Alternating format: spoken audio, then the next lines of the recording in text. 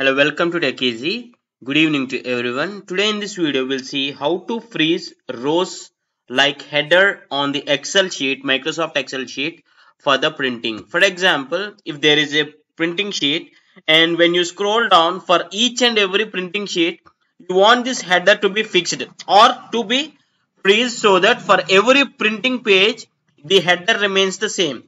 For this, you need to fix this header. This is what, see here in this example, even though I am scrolling the sheet see here this first row is fixed. So this is you this is achieved through freezing panes and now you can freeze this first row and give it for printing.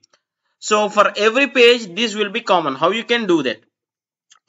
Select the next or the below row of the header and click on the view tab and here you will find freeze panes and you need to click on the drop down and click on freeze top row.